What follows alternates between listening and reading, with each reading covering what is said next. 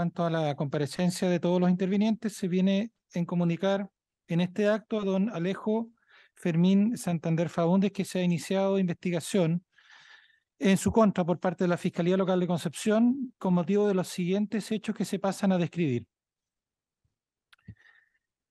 Que en la comuna de San Pedro La Paz, el día primero de septiembre de 2023, siendo aproximadamente entre las 07.50 y las 08.00 horas, ya con luz diurna a esa fecha y hora.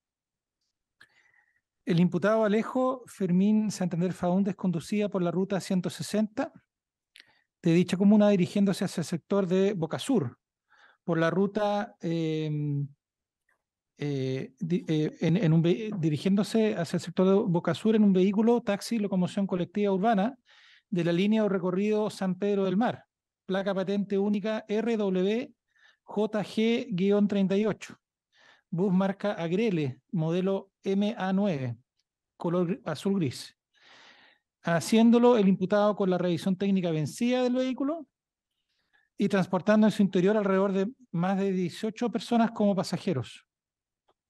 Respecto de quienes el conductor imputado tenía una posición de garante de la seguridad de aquellos. El imputado al conducir dicho taxibús hasta un cruce ferroviario regulado ubicado en la esquina de la ruta 160 con avenida Daniel Belmar, el cual es un cruce latamente conocido por conductor imputado, por ser un punto relevante de su ruta habitual de recorrido. Se, se encontró con el cruce ya claramente cerrado, con las barreras ya bajadas, em, con el semáforo ferroviario vehicular especial ya activado sin flecha verde para virar. Es decir, eh, la señalética de seguridad le estaba indicando claramente que no contaba con la autorización para virar y menos para cruzar la línea férrea ubicada en dicha intersección.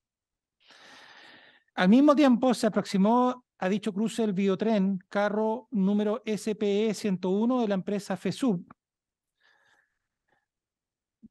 cuyo conductor, don Nelson Ignacio González Contreras, eh, además, procedió, eh, llegando al cruce, a activar la bocina de alto volumen que mantiene el tren, eh, advirtiendo a los vehículos y, y peatones que se acercaba al cruce.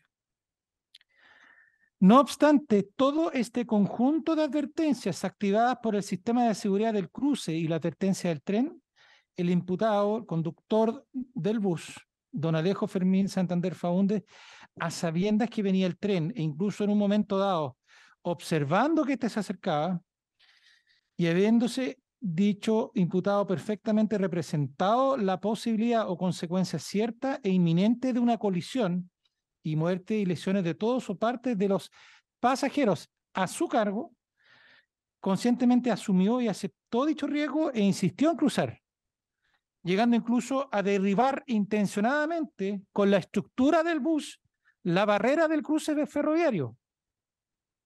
Dichas acciones y omisiones dolosas y homicidas del imputado llevaron a que en medio del cruce el taxibús conducido por el imputado fuera estrellado e impactado violentamente por el mencionado tren eh, en movimiento.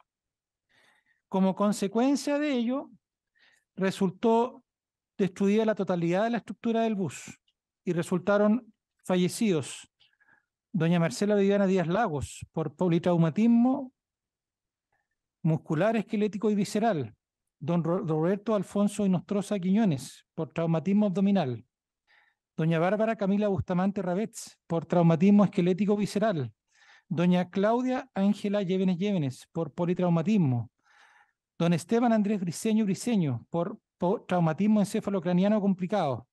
Doña Soledad del Camen Río Seco Marín, por politraumatismo. Y doña Elizabeth América Sotorellana, por traumatismo encefalocraniano. Además, resultaron lesionados los siguientes pasajeros. Don Franco Antonio Zavala Hernández, con lesiones graves politrau- politraumatismo y fractura de cúbito proximal.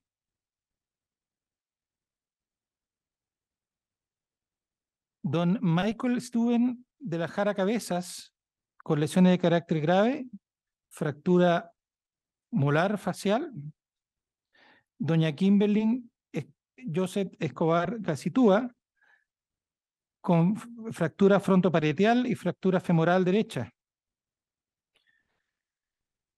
Doña Martina Isidora González Llévenes, con una fractura de fémur.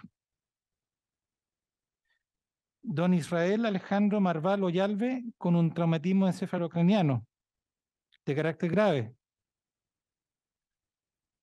Don, eh, las lesiones graves de las víctimas que ya se han indicado eh, han significado eh, enfermedad o incapacidad para el trabajo por más de 30 días. También resultó con lesiones graves don Israel, don Jonaker Josué Medina Oyalve, Jonaker José Medina Oyalve, con un traumatismo encefalocraniano, eh, neumotórax em, y traumatismo en el abdomen, de carácter menos grave. Don Marcelo Alexis Seguelo Aguilera, con una fractura, fractura maxilofacial de carácter grave, de más de 30 días de incapacidad de enfermedad. Don Ignacio Nicolás Fierro López, con fractura de fémur, lesiones graves, de más de 30 días de incapacidad o enfermedad. Don Juan Carlos Hidalgo Casanueva, con un dolor lumbar de carácter clínico leve. Don Marcelo Alexander Silva, con eh, un traumatismo encefalocraniano y múltiples fracturas de carácter clínico grave, con más de 30 días de incapacidad o enfermedad. Don Marcos Rodrigo Robles Rifo, con un traumatismo encefalocraniano de carácter clínico grave, con exposición de masa encefálica, eh, causando la enfermedad o incapacidad por más de 30 días. Y don Joseph Loyola Bobadilla, con eh, una contus- policontusiones de carácter clínico leve.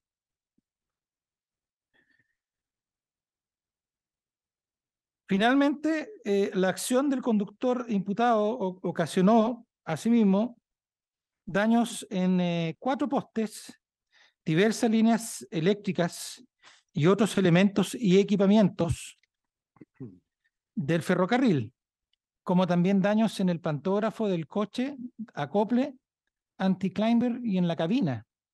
Daños avalados por la empresa de ferrocarriles en aproximadamente 40 millones de pesos. Los hechos antes descritos son constitutivos de los siguientes ilícitos que se pasan a señalar.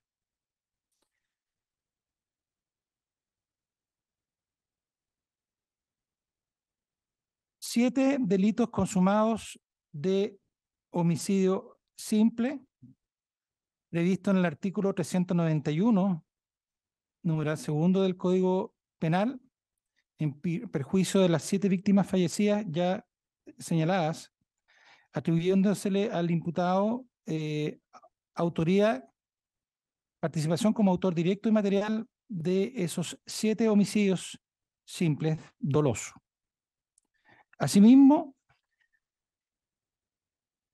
nueve delitos de lesiones simplemente graves, previsto en el artículo 397, numeral primero, eh, numeral segundo, perdón, del Código Penal, en perjuicio de las víctimas con lesiones simplemente graves.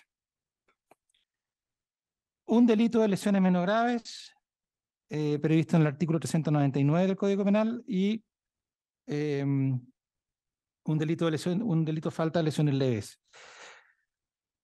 Respecto de estos ilícitos de lesiones, también el imputado se le atribuye participación como autor directo y material, encontrándose cada uno de ellos consumado. Finalmente, también se estima que eh, concurre el delito de daños calificados en perjuicio de la empresa de ferrocarriles, em, delito eh, atendida la cuantía de los daños, eh, la figura prevista en el artículo 480 485, número 6 del Código Penal, y atendida la naturaleza de los daños en una vía férrea pública. En las instalaciones de la vía, de la vía férrea pública. En este ilícito también, eh, que se encuentra consumado, se le atribuye autoridad directa y material al imputado antes referido. Esos son los hechos de la formalización, señoría. Mm, Don Alejandro, don Alejo Santander, ¿me escucha?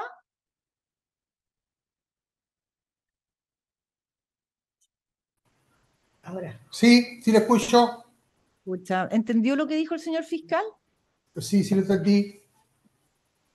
Ok. Téngase por formalizada la investigación. ¿Alguna otra cosa? Señoría, vamos a solicitar que durante el desarrollo de la investigación se decrete la prisión preventiva de don Alejo Fermín Santander Faúndes, oficiándose a la policía, a, mm, perdón, a Gendarmería de Chile, para que inicie eh, su custodia y una vez que sea dado de alta, sea ingresado al centro de cumplimiento penitenciario respectivo. Esto por cuanto se estima que la libertad de Alejo Santander Faúndes constituye un peligro para la seguridad de la sociedad por los motivos que en adelante voy a pasar a describir. En primer término, eh, esta, este hecho se da cuenta a través de un parte policial del 1 de septiembre de 2023, parte número 3488 de la Sexta Comisaría de Carabineros de San Pedro de La Paz. En dicho parte policial eh, fue detenido Alejo Fermín Santander Faúndes, y al momento de, controlarse su detención no pudo eh, realizarse la formalización, atendido que se encontraba, eh, eh, lo estaban sometiendo a cirugía. Como primeras diligencias que efectúa Carabineros, se indica que a las 8 horas aproximadamente el personal de, de población de Carabineros recibieron una comunicación en el sentido de de que se trasladaran a la, línea férrea en el ingreso hacia Boca Sur, específicamente en Avenida Daniel Belmar, esquina con la ruta 160 de la comuna de San Pedro La Paz, por un accidente ferroviario.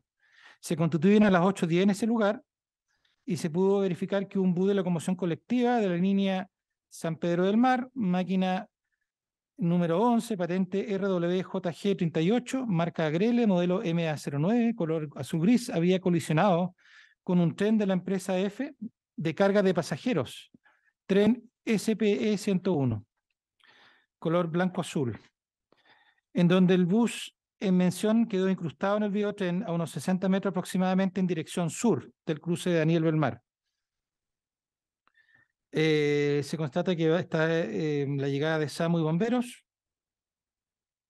Y se logró individualizar a los, a los conductores de ambos medios de transporte, siendo el del bus conducido por Alejo Fermín Santander Faúndes eh, y el conductor del tren, don Nelson Ignacio González Contreras. Se hace presente que el conductor del bus, eh, debido a su lesión, estaba siendo trasladado al hospital regional. Acto seguido se entrevistó al conductor del tren, eh, quien se, se, desempeña como maquinista del biotren, quien señala que a las 07.55 aproximadamente realizaba sus labores habituales como maquinista en dirección desde Concepción hacia Coronel. Desde Concepción hacia Coronel. Y al llegar a la proximidad del cruce de Avenida Daniel Belmar, sector Boca Sur, observó que repentinamente un bus de locomoción colectiva de la línea San Pedro del Mar, color gris con, con azul, cruzó la línea férrea no respetando las barreras de contención impactándolo en el centro al costado izquierdo, como de igual modo activando el freno de urgencia, no logrando evitar la colisión.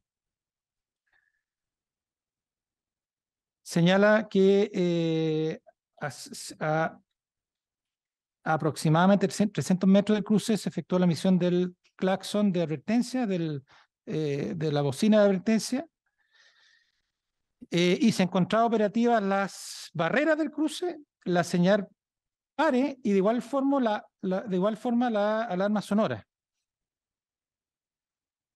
Se indica que eh, se pudo establecer el fallecimiento de las víctimas Esteban Briceño Briceño, Soledad Río Seco Marín, Bárbara Bustamante Rabetz, Marcela Díaz Lagos, Roberto Nostroza Quiñones, em, Elizabeth Soto Orellana, Claudia Llévenes Llévenes. Se indica también que resultaron lesionados Franco Zavala eh, Fernández, Michael de la Jara Cabezas, Kimberly Escobar Gacitúa, Martina González Llévenes, Israel Marval Oyalve, John Medina Oyalve, Marcelo Seguel Aguilera, Ignacio Fierro López, Juan Carlos Hidalgo Casenueva, Marcelo Cid Silva, Marcos Robles Rifo. También se hace luego una adición al parte agregando a un lesionado identificado como eh, don Yaret Fidel Antonio Loyola Bobadilla, con las lesiones que se, ya se han descrito en, eh, en la formalización. Se adjuntan los comprobantes de atención de urgencia, eh, actas de levantamiento de fallecidos, re- eh, respectivamente de cada uno de las eh, víctimas antes descritas. Don, señor fiscal, disculpe, la eh, víctima, do- señor Silva, con lesiones graves. ¿Cuál es el nombre, perdón? Señor Silva, de los últimos que nombró. ¿Me permite, magistrado, un minuto?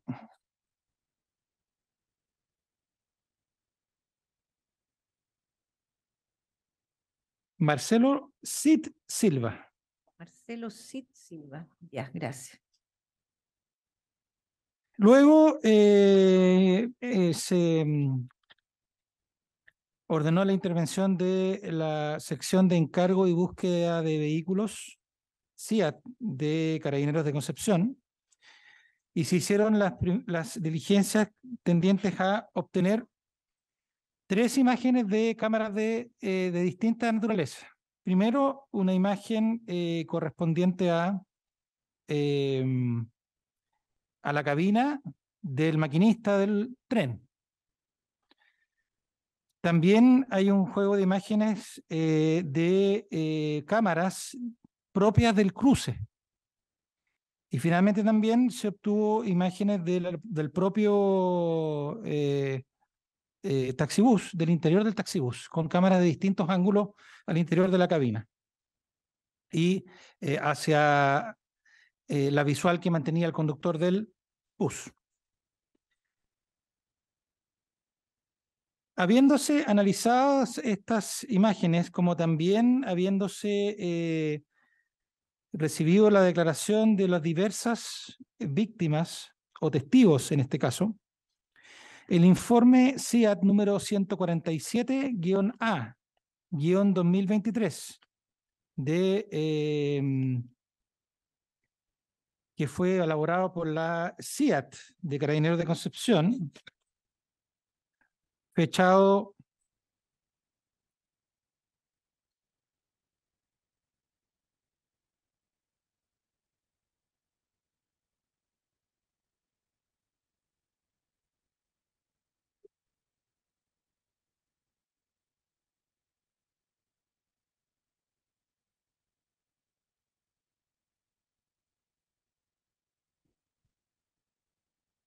siete de septiembre de 2023 se recibieron eh, copias de estas imágenes, como también eh, el eh, las conclusiones de este informe.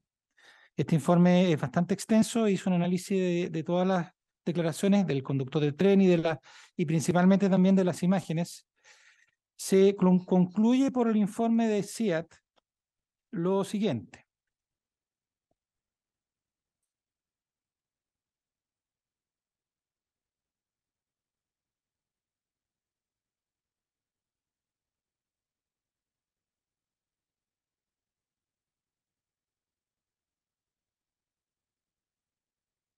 El participante 1, refiriéndose a, eh, al conductor del taxibús, ingresó al cruce ferroviario en maniobra de viraje hacia la derecha, de forma riesgosa y temeraria, sin respetar el derecho preferente de paso al biotren. Eh, participante 2, circunstancia a la cual se encontraba obligado por no mantener flecha de viraje de semáforo vehicular, sumado a las restricciones físicas, paréntesis, barrera de cruce a nivel y visuales existentes ante la presencia y proximidad del tren eh, en el área de conflicto, siendo colisionado. Luego, por proyección, el móvil 1 uno, eh, choca con postes de utilidad pública también. Es decir, a través de este informe se indica claramente que la causa basal de este accidente está radicada en la conducta del eh, chofer del taxibús. Ahora bien, em, lo relevante y tal como se ha podido explicitar en la formalización es que en este caso eh, nos encontramos con un- una situación eh, particular. En el, en el entendido primero de que se trata de un cruce ferroviario, no es un cruce cualquiera, es un cruce en que todo conductor de bus o conductor de vehículo sabe que em, cualquier impacto es con un tren, no con otro vehículo, sino que claramente con un tren, con las consecuencias graves que eso puede significar para eh, los pasajeros, particularmente atendida la calidad de conductor de eh, locomoción colectiva, conductor profesional, a cargo de la seguridad de los pasajeros. En este contexto, y como se podrá ver en las distintas cámaras de seguridad eh, distintas cámaras que se, eh, cuyos videos se van a exhibir brevemente, se puede colegir que el conductor se posiciona, eh, viene por la ruta 160 en dirección norte hacia el sur y se posiciona en la pista para virar, pista derecha pa- para virar hacia la derecha, con el, eh, eh, con el, línea férrea hacia su mano derecha. Se enfrenta primero a una luz que se encontraba verde para los vehículos que iban hacia el sur pero sin flecha verde para quienes quieran doblar hacia la derecha y cruzar la línea férrea para entrar a Daniel Vera. Es decir, primer, hay, hubo una primera advertencia al conductor de que no tenía flecha verde para cruzar. Luego, una segunda advertencia al conductor, que al virar se enfrenta aparte de observar a todos los, a todos los vehículos que están al costado de la línea, observa a todos los vehículos detenidos. Y el conductor observa que se encontraba bajada la barrera del cruce. Esa barrera de cruce, si bien no, no, no tenemos registro del audio de aquello, eh, tienen también algunos sistemas de alerta, de alarma. Pero lo que sí está muy claro, eh, absolutamente, es que la barrera se encontraba bajada. Y el conductor insiste en cruzar. Intencionadamente bota o eh, destruye la barrera con el bus para pasar. Luego, cruzando la barrera, mira hacia la derecha, hacia el norte, y ve al tren mientras se acercaba e insiste en acelerar para cruzar. Esto se ve también en las cámaras del bus, cámaras de, eh, y las cámaras particularmente del tren, de la cabina del tren. Es decir, advertencia de luz que no debía virar, alarma del cruce, los, los demás vehículos todos eh, detenidos por la alerta de que venía tren y la barrera bajada. ¿Y qué hace el conductor? Insiste en cruzar ya no es solo temeraria a nuestro juicio, como señala la CIAT, sino que es una acción que es eh, dolosa desde el punto de vista de una voluntad, una acción volitiva tendiente a cruzar la línea, a como de lugar. Incluso si era necesario romper la barrera, él iba a cruzar igual y cruzó la barrera asumiendo los riesgos que significa cruzar una barrera del tren y lo que significa un impacto de un tren y a cargo de, una, de un sinnúmero de pasajeros. Esa acción, por la cantidad y gravedad de infracciones, nos parece que es una acción que eh, excede la culpa, excede la culpa consciente y estamos ante una hipótesis de dolo eventual. Este tipo de situaciones eh, que no son eh, tan frecuentes, sí han sido recogidas por, por la doctrina y la jurisprudencia. Es más, hace pocos días, para dar un botón de muestra a su señoría, hace pocos días eh, el Tribunal Oral de Temuco, en la causa R- R- Roll 116-2022, un, juicio oral que terminó hace una semana. Un conductor de un, una micro que llevaba en un paseo escolar a un estudiante se dio vuelta en una curva a exceso de velocidad. El Tribunal Oral en lo Penal de Concepción lo condenó a una pena de crimen por delito doloso de homicidio. Varios homicidios, sí, Tribunal Oral de Temuco. Hace una semana.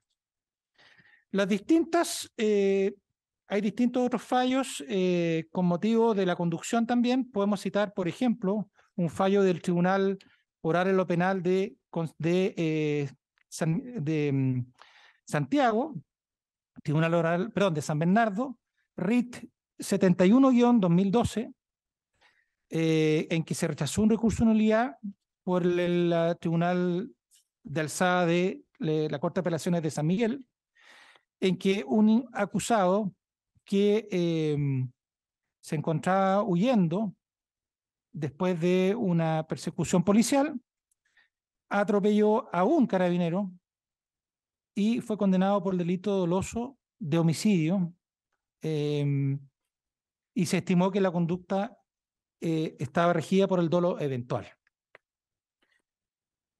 La doctrina, por su parte, hay, mucho, hay, hay mucha doctrina al respecto, pero podemos citar, por ejemplo, al, profesor Mir Puig, em, que refiriéndose a los, a los accidentes de tránsito también, em,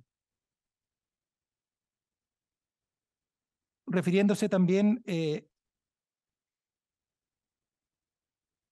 cuando el sujeto no descarta que su conducta pueda lesionar un bien jurídico penal ni cree posible confiar en que no vaya a ser así y pese a tal conciencia de su virtualidad concretamente lesiva lleva adelante su acción.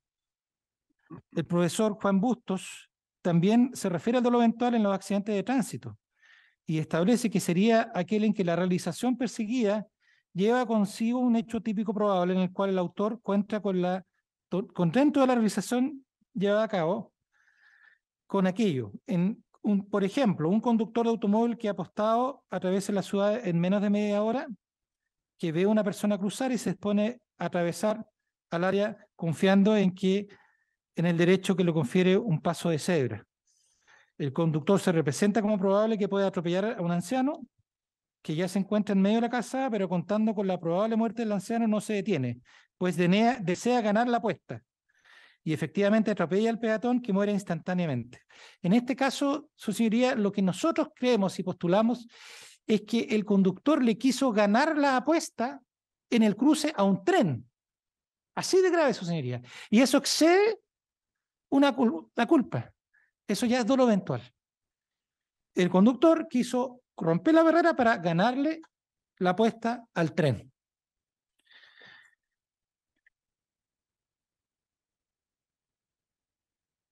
Así también, por ejemplo, el profesor Garrido Montt eh, señala respecto al dolo eventual, a ese conductor que sabiendo su escasa habilidad en el manejo circula a alta velocidad por carrera concurrida con indiferencia frente a la posibilidad de que pueda atropellar a alguien, si, efectivamente, eh, si efectivamente inviste a un peatón o lesiona o, causa no muerte.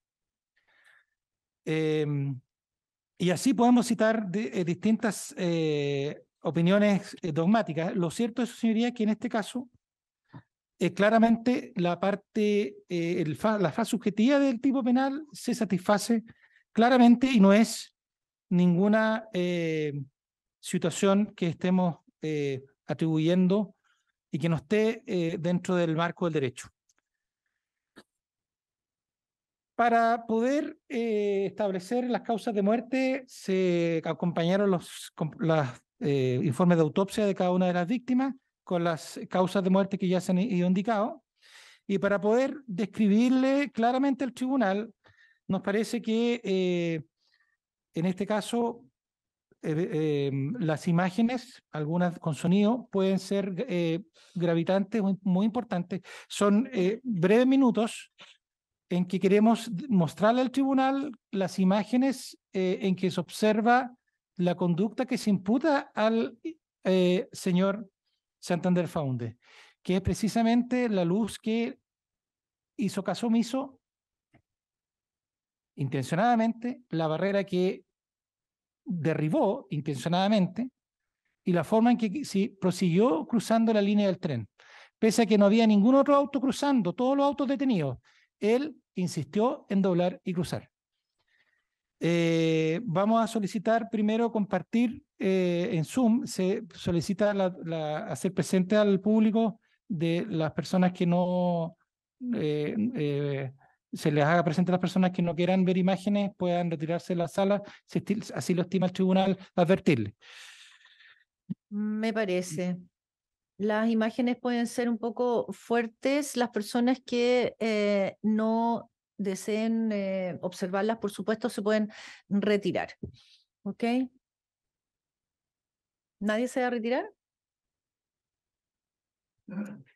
Adelante, don.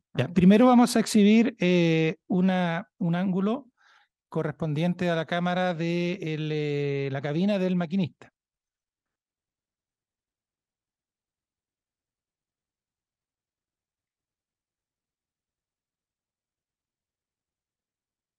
Vamos a eh, compartir.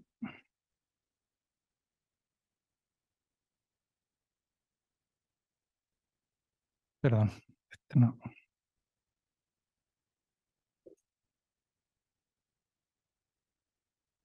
Vamos a ver eso.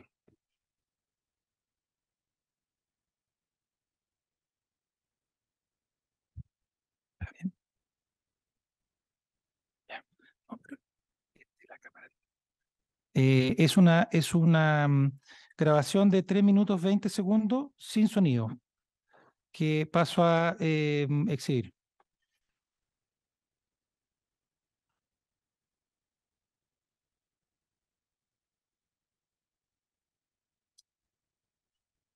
En el lado izquierdo se observa el bus que se va apro- aproximando ¿No hay allá. imágenes?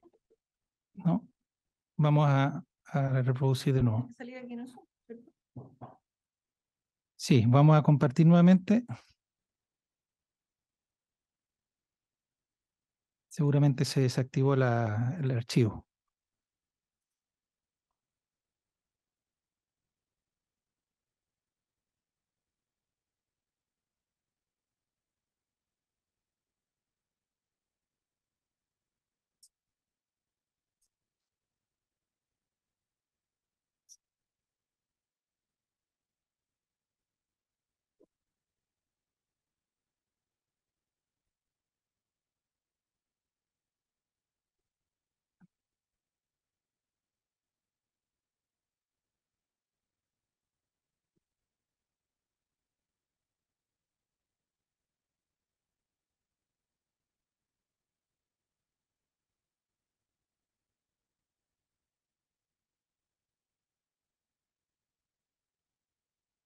Me permite, magistrada, que eh, hay un problema con el archivo que no se ve en el, en el notebook, pero no, no lo comparte el Zoom.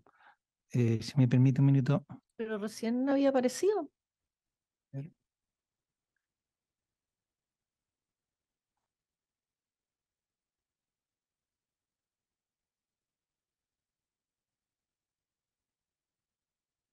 Ahora sí.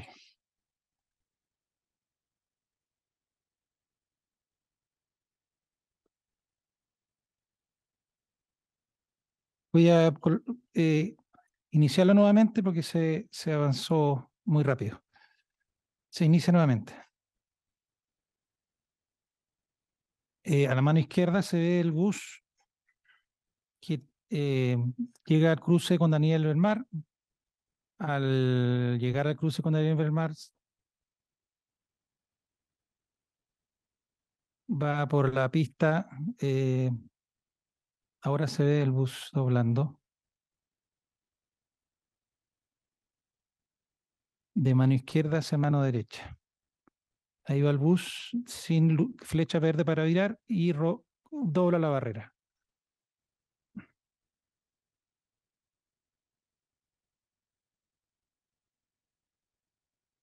Eh, ¿Quedó claro, magistrado? Lo repito. Eh, a mí me quedó muy claro. Vamos al eh, archivo número 2, que es el, una eh, breve, eh, breve video del cruce, de las cámaras del cruce instaladas por ferrocarriles.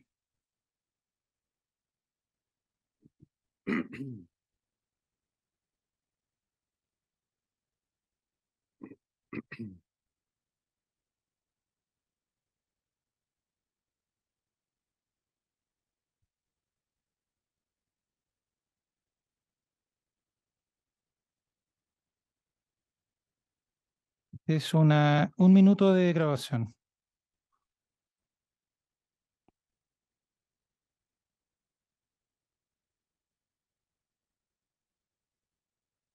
Se, ve que baja la barrera, están los vehículos detenidos. Hay un signo pare, hay un- una señal pare también en el cruce. Y luego el bus derriba la barrera hacia el costado. Y colisiona el tren.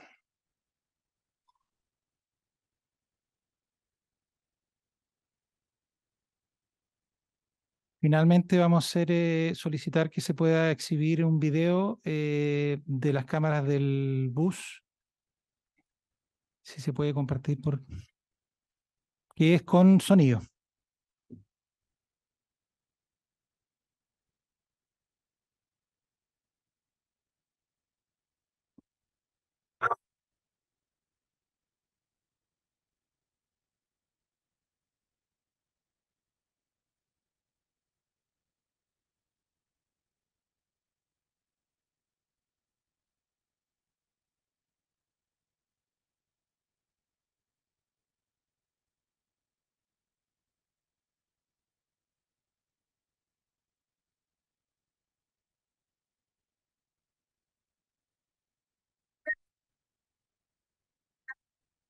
La vamos a recordar ahí, ya. A la grande tarde.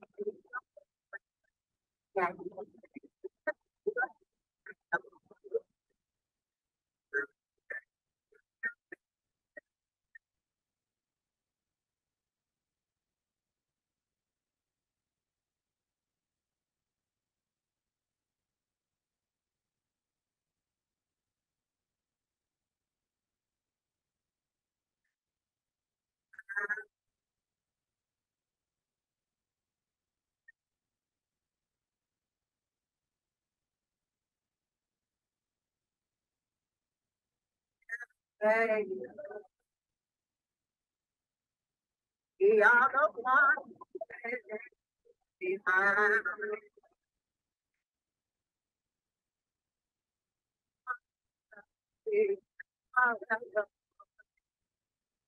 En esta imagen va el conductor eh, por la pista derecha hacia el sur. Por la ruta 160 dirigiéndose hacia el sur a la cercanía del cruce.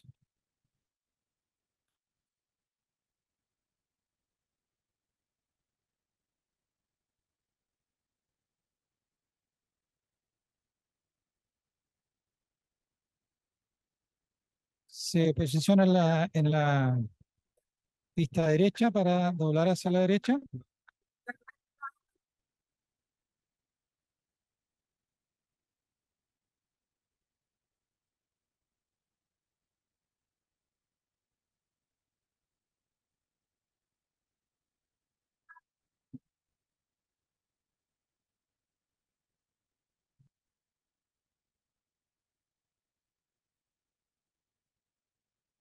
Aparentemente hay un desfase entre la imagen y la, el sonido.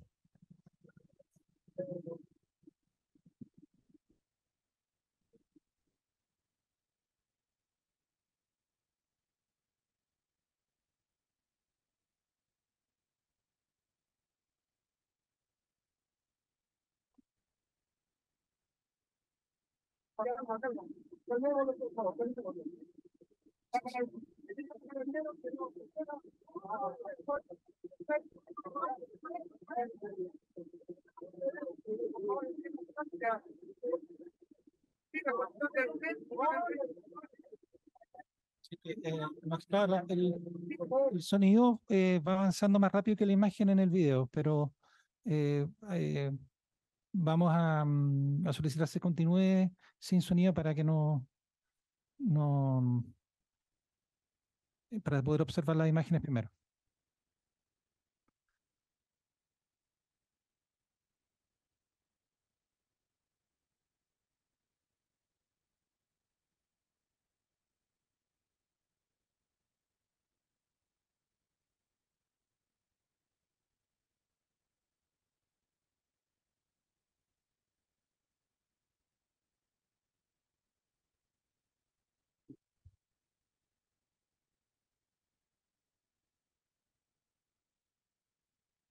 Eh, ahí se acerca a la pista derecha para virar el conductor. Al llegar al cruce ya se ven vehículos detenidos en ambos lados de la pista de la línea férrea, detenidos. No tiene flecha para virar a la derecha. Insiste en cruzar. Dobla a la derecha. Golpea la barrera como se vio en el ángulo opuesto de la cámara. Continúa y mira hacia la derecha, hacia la línea. Pese a ello, continúa la marcha y es embestido por el tren. Bien.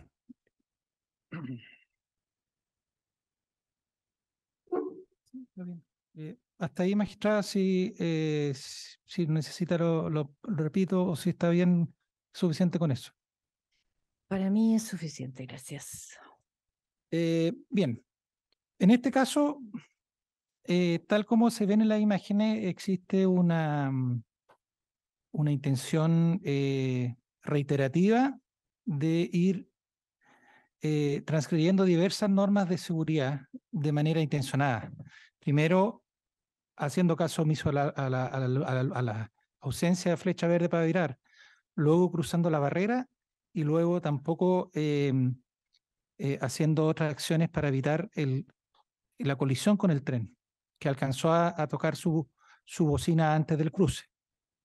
No nos queda claro con cuánta anticipación eh, dio, se escuchó la, bocina del tren, pero sí hubo un- un- una, una acción del claxon. Pero lo relevante acá, señoría, es que todos los otros vehículos se encontraban detenidos respetando las barreras y el único que insiste en cruzar es el imputado. Todas e- estas acciones eh, analizadas conjuntamente eh, nos hacen entender que la intención del acusado era cruzar eh, y ganarle la posesión al tren, cuestión que a nuestro entender ya es una conducta mucho más grave que el solo cruzar un- una, no respetar un semáforo, sino de una conducta más em, em, insistente, eh, eh, persistente en cruzar, poniendo en riesgo a sabiendas de todos los pasajeros que llevaban. No llevaba carga, llevaba personas humanas, pasajeros de los cuales por ley de tránsito es garante de la seguridad de los pasajeros. De esta manera, su señoría, el Ministerio Público estima que concurren eh, los ilícitos en concurso material que se han esbozado en la formalización y atendida la gravedad de los ilícitos, la pena asignada a los mismos, la imposibilidad de penas sustitutivas, se hace necesario para garantizar la seguridad de la sociedad, eh, la prisión preventiva del señor Alejo Fermín Santander Faúndez. Eh, también estimamos, eh, y sin perjuicio de lo anterior, necesario la eh, cautelar un peligro de fuga, toda vez que hoy en día, gracias a que está hospitalizado, hemos podido formalizar al imputado. Distinto pudiese haber sido de que él hubiese eh, salido ileso de esta situación y encontrarse inubicable. De tal manera que también es eh, tan necesario por, por eh, motivos de se- seguridad de la sociedad, por los bienes jurídicos afectados, sino también por eh, un peligro de fuga, la necesidad de decretarse la prisión preventiva durante la investigación en estos hechos, que están ya em, meridianamente aclarados, lo cual permite presumir fundadamente en esta etapa procesal, no arbitrariamente, sino fundadamente la existencia de un dolo homicida por, vía de dolo eventual, participación en cada una de las muertes y lesiones en este caso. Eso es todo, señoría. Mm, Voy a escuchar a los querellantes, pero eh, no demasiado largo, por favor. Váyanse al punto para que no, no se extienda demasiado, ¿ok? Porque falta todavía el defensor. A ver, primer querellante, ¿usted caballero? Gracias, señoría. Esta parte Me dice va, nombre, por favor. gracias, señoría, abogado Andrés Durán, Andrés, Esta parte se allana a la petición del Ministerio Público y da por reproducido los mismos eh, aspectos de hecho que eh, señaló el fiscal porque esta parte coincide con ello y solamente agrega que se encuentra acreditada la existencia del delito, la participación y existe, de acuerdo a la pena probable, eh, una condena superior a los 20 años, por lo tanto existe peligro de fuga. Dicho lo anterior, eh, el 139 con el 351 hacen aconsejable esta medida cautelar, puesto que cualquier otra podría ser insuficiente. Es todo, su señoría. gracias. Don. Eh, Ricardo Muñoz por Ferrocarriles, magistrado. Eh, por Ferrocarriles, magistrado, nosotros presentamos querella, nos adherimos a la, a la solicitud del Ministerio Público respecto de la solicitud de medida cautelar. Esto es la más gravosa que contempla nuestra legislación, esto es la prisión preventiva. Principalmente, eh, obran eh, en esta formalización eh, antecedentes suficientes que justifican la existencia del delito y también los antecedentes que presumen la participación del imputado en el mismo. Solamente detenerme muy brevemente, magistrado, en la necesidad de cautela. Lo que acabamos de ver en estos videos denota un- una especial em, indiferencia respecto de la vida de las personas eh, por parte del chofer que tiene la posición de garante respecto de los pasajeros. Por lo tanto, eh, respecto de la necesidad de la cautela, eh, se hace necesario que eh, choferes y personas que ejercen esta profesión eh, no queden en libertad mientras dure esta investigación en atención a este dolo eventual que ha sido eh, apuntado en la formalización magistrado. mm, Don, Gracias, magistrado. Eh, abogado Nombre. Rafael Poblete Savera, eh, esta parte igualmente comparte y se adhiere a la solicitud del Ministerio Público. Estimamos que eh, atendido eh, la gravedad de los ilícitos, eh, esta es la medida que resulta proporcionada para asegurar los fines del procedimiento, para asegurar el peligro, porque estimamos igualmente que hay peligro para la seguridad de la sociedad. Eh, las imágenes, como lo han dicho el fiscal, lo han dicho los colegas, son impactantes.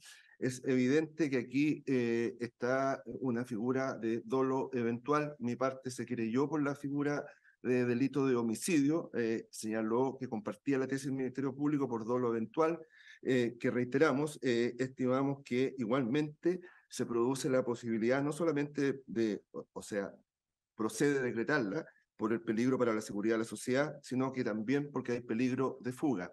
Eh, el colega ha dicho, para evitar repeticiones, que eh, la, está absolutamente acreditada la existencia del delito, está absolutamente acreditada la participación que ha tenido el conductor, eh, reitero, en la posición de garante de la seguridad del pasajero, y la pena probable en este concurso material, eh, sin duda, que amerita eh, que se imponga esta medida, magistrado. Eh, también eh, señalamos como fundamento de derecho para terminar el fallo del Tribunal Oral en lo Penal de Temuco reciente en la causa 116 del 2021 que impuso una pena eh, por delito en, el caso de un concurso material solo de, digo solo, de tres muertes, ya que hay siete muertes y un sinnúmero de heridos graves. Por lo tanto, estimamos proporcionar la medida, magistrado, y nos adherimos a la solicitud del Ministerio Público.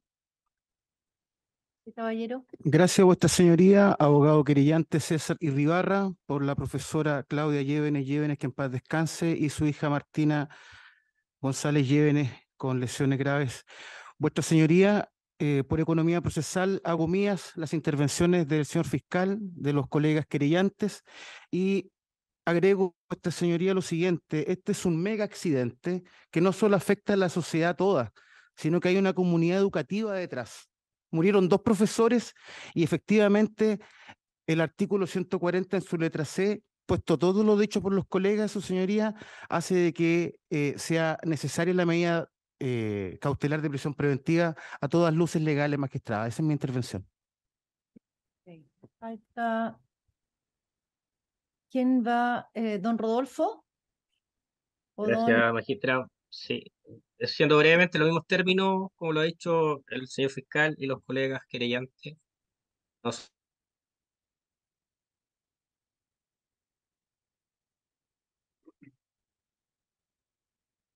Don Rodolfo se, se cortó, no, no alcancé a escucharle todo lo que dijo. ¿Puede repetir, por favor? y magistrado, eh, en los mismos términos, como lo ha dicho el Ministerio Público a través del fiscal y los colegas querellantes, nos adherimos a la solicitud de prisión preventiva para el imputado. Ok. Gracias. ¿Quién más? No me falta ningún otro creyente, ¿cierto? Magistrada, Ah, sí, la delegación presidencial. Dígame, ¿cuál era su nombre? Ignacio Sapiaín. Don Ignacio Sapiaín. Ok, dígame. Muchas gracias. Nos adherimos a la petición del Ministerio Público. Solicitamos se declare la prisión preventiva del imputado, fundado en lo siguiente. En lo que se refiere a los elementos materiales de la cautelar solicitada, la verdad es que efectivamente se cumplen y no pueden ser cuestionados en cuanto a la existencia del delito y la participación. Por consiguiente, solamente nos queda por tratar eh, la necesidad de cautela, con la finalidad de garantizar los fines del procedimiento, asegurar la comparecencia del imputado y teniendo en vista que la misma resulta peligrosa para la seguridad de la sociedad, existiendo además sospechas graves y fundadas de que el imputado se podría dar a la fuga considerando el número de delitos por el que ha sido formalizado, la gravedad de la pena asignada a estos delitos y que arriesga, en el caso concreto, la que tiene el carácter de crimen, circunstancia que per- permite presumir el peligro de- para la seguridad de la sociedad, conforme a lo dispuesto en el artículo 140, inciso cuarto. Recordemos que se ha sido formalizado por siete homicidios, nueve delitos de lesiones simplemente graves, un delito de lesiones menos graves, un delito de lesiones leves y un delito de daños a la infraestructura de ferrocarriles del Estado. La forma de comisión es lo que sin duda aquí destaca. Debemos establecer si efectivamente fue un actuar negligente o descuidado, una conducción con cierto grado de ligereza, o en realidad el imputado mantuvo en todo momento el dominio de la acción, en términos tales que pudo haber tomado otra decisión. Sin embargo, logramos ver, de acuerdo a los videos que ha puesto el, señor fiscal, que efectivamente él se acerca al cruce, no se detiene, avista vehículos que efectivamente estaban detenidos, no había ningún otro paso habilitado que simplemente arremeter contra la barrera, insiste y persiste en esa conducta y luego, y claro, se interpone ante el paso del tren, eh, provocando la muerte de siete personas. Pudo haber tomado otra decisión. Tuvo, como ya dijimos, el dominio de la acción, pero asumió el riesgo de su actuar delictual. Eh, recordemos que el cruce contaba con advertencia luminosa, alarma de cruce, los vehículos detenidos, las barreras abajo. Ve al tren. Cuando vemos el video, él ve al tren y aún así mantiene una conducta persistente. Eh, persevera entonces en este resultado totalmente previsible, que es causar la muerte a los pasajeros, y asumió ese resultado. Agrava aún más esta conducta si consideramos que estamos frente a la ejecución de un contrato de transporte público donde existen dos obligaciones principales. La primera es trasladar a los pasajeros a su lugar de destino y la segunda, que también es principal e inherente al contrato de transporte, hacerlo en forma segura.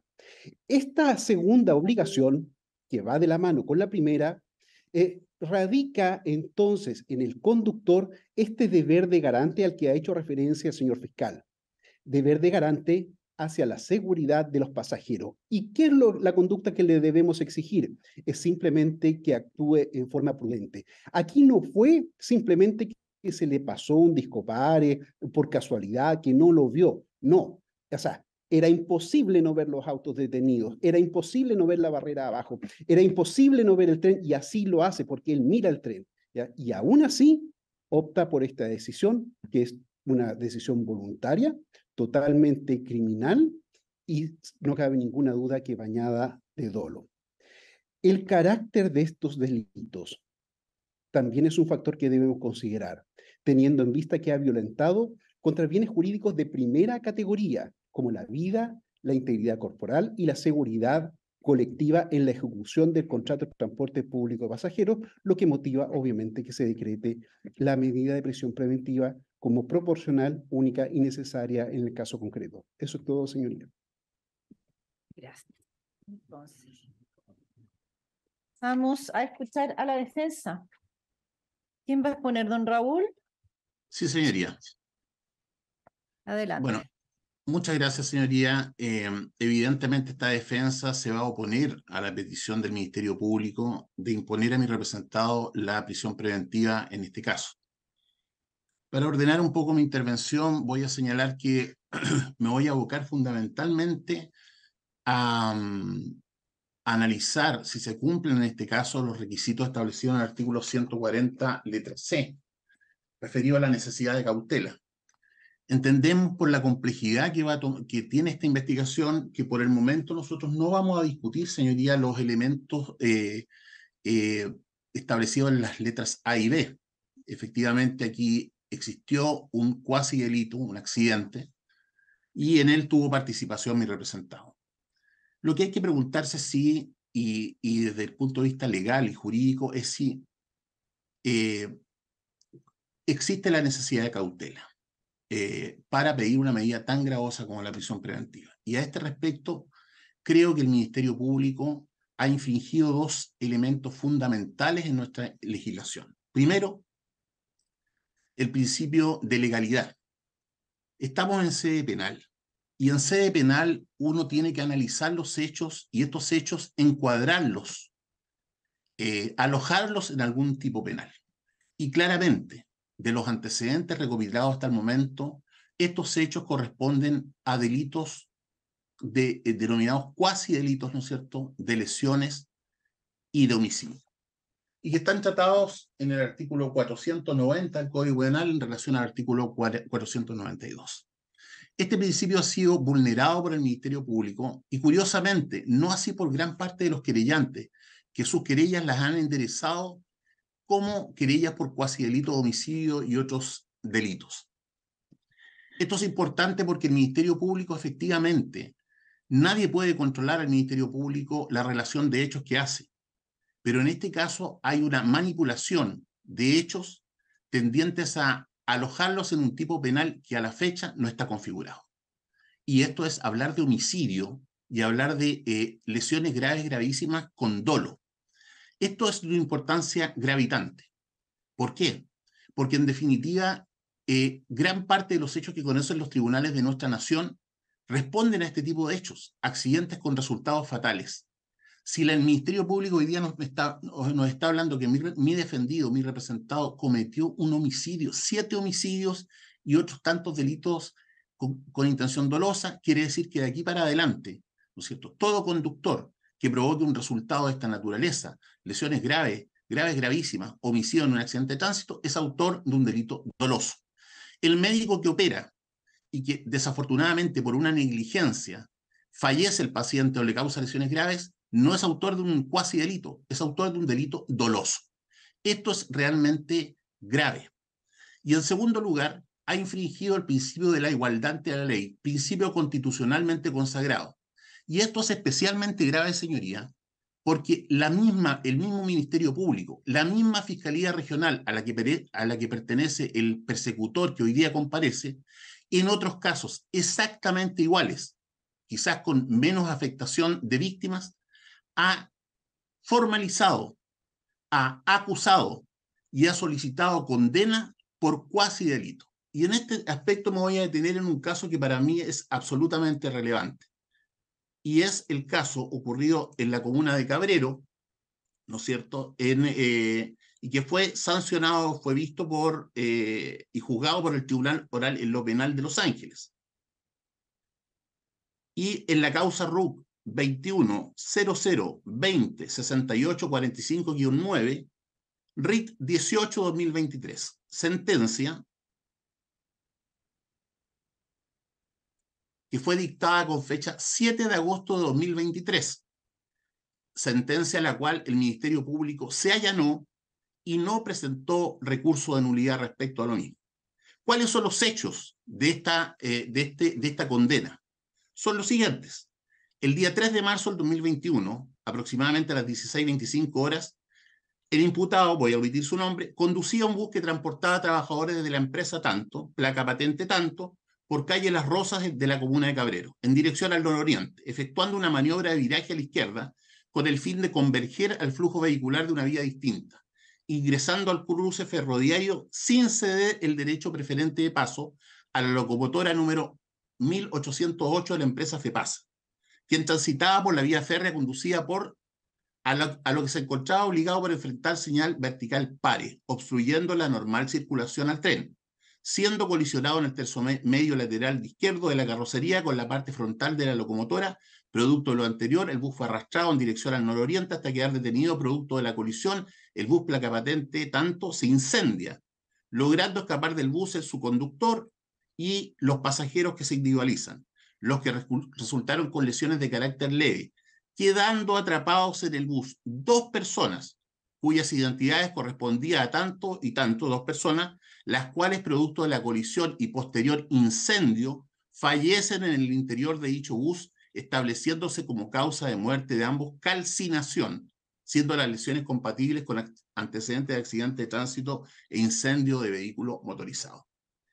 ¿Cuál es la calificación jurídica que da el Ministerio Público de, estos hechos? Que son exactamente iguales a los de esta causa. La, calificación jurídica, ¿no es cierto?, es un cuasi delito, dos cuasi delitos, ¿no es cierto?, de lesión de homicidio en eh, perjuicio de las víctimas que se señalan en este, en este fallo. Y, en definitiva, ¿no es cierto?, pide que se le imponga una pena de tres años de presidio menor en su grado medio. Resultado de esta situación, eh, ¿y qué razona el tribunal en, la, situación? Dice que así las cosas, la controversia de autos consistió en determinar si la falta de medidas de seguridad adicionales que señaló la, la defensa, ¿no es cierto?, tenía implicancia en el tema, lo que fue descartado y en definitiva se condena a esta persona, ¿no es cierto?, y se establece que el acusado ingresó al cruce ferroviario sin detenerse ante la señal de disco pare y no respetó el derecho preferente de paso de la locomotora número 1808, infringiendo con ello lo dispuesto en los artículos 140 y 102 de la Ley de Tránsito número 18.290, poniendo con ello en riesgo la vida de los pasajeros que se encontraban al interior del bus, conducido por el acusado y que tuvo como consecuencia la colisión y posterior incendio del bus en que cuatro personas resultaron lesionadas y dos fallecidas. Por tanto, la infracción de las citadas disposiciones legales configura el tipo penal establecido en el artículo 490, número 1, en relación con el artículo 492 y 391, número 2 del Código Penal. Se condena a esta persona, ¿no es cierto?, a 818 días en atención a la extensión del daño causado. Esta sentencia, señoría, fue aceptada y fue promovida por la misma Fiscalía Regional que hoy día trae a mi cliente y le trata de imputar, manejando los hechos como autor de homicidio y lesiones. Pero no es todo, no es todo. Esta no es la primera vez que esta Fiscalía Regional intenta imputar a una persona, ¿no es cierto?, delitos que son culposos, haciéndolos pasar como delitos dolosos. Otra causa, eh, fallada por el Tribunal Oral en lo Penal de Concepción, dice relación con la causa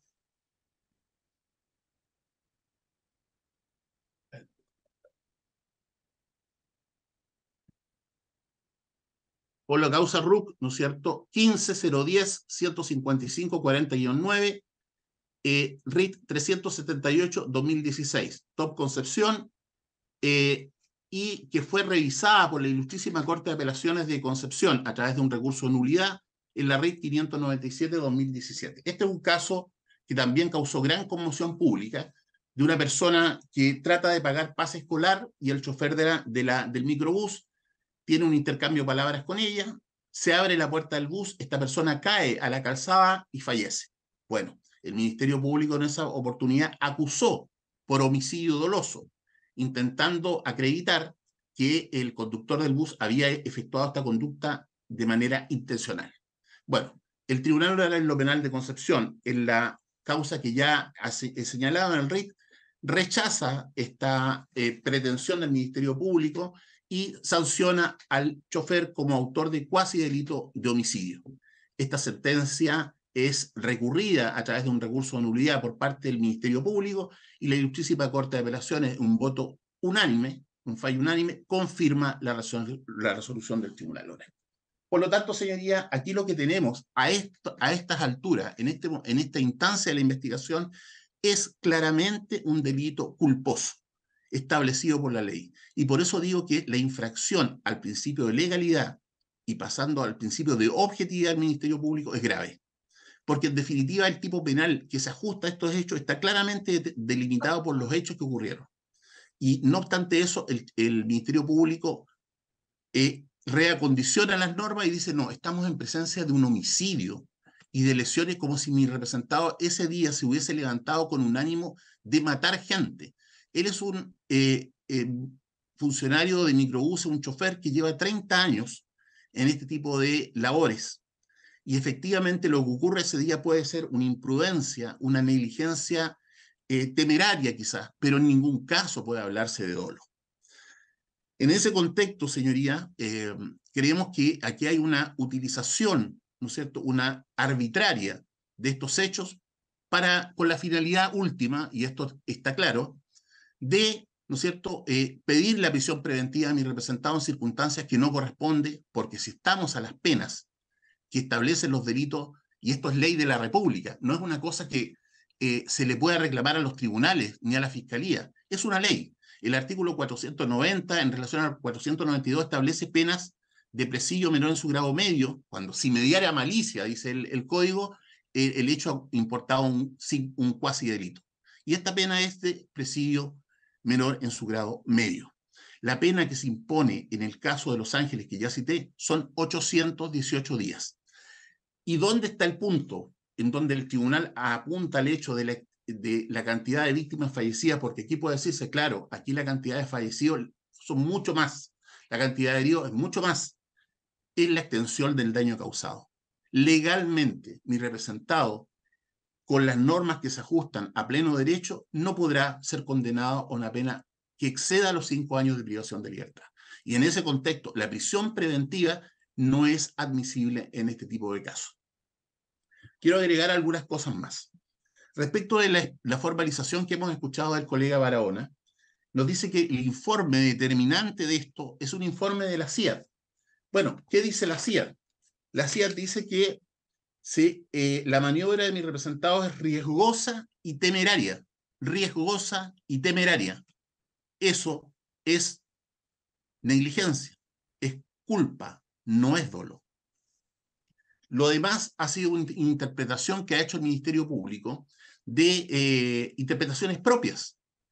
Repetido, a nuestro juicio, a nuestro juicio. Bueno, hay que ajustarse a la ley y afortunadamente los tribunales de justicia deben apegarse a la ley, no una interpretación que hace el Ministerio Público que lo que busca en el fondo es pedir prisión preventiva en base a, de alguna manera, acomodar los hechos a un tipo penal que no corresponde o por lo menos no corresponde en este momento. Será una discusión de fondo, pero pedir prisión preventiva.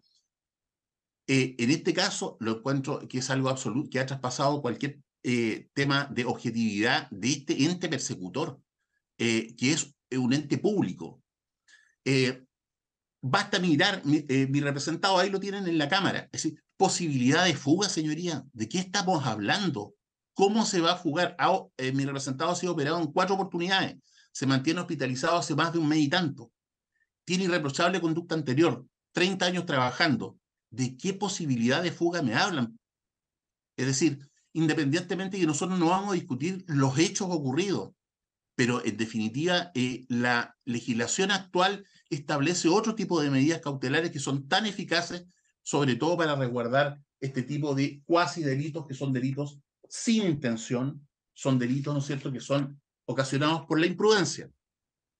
Todos somos conductores, o la gran mayoría somos conductores y alguna vez hemos cometido una imprudencia, un error. Eso no es asimilable a una intención de matar, en una intención de herir, de maltratar a nadie.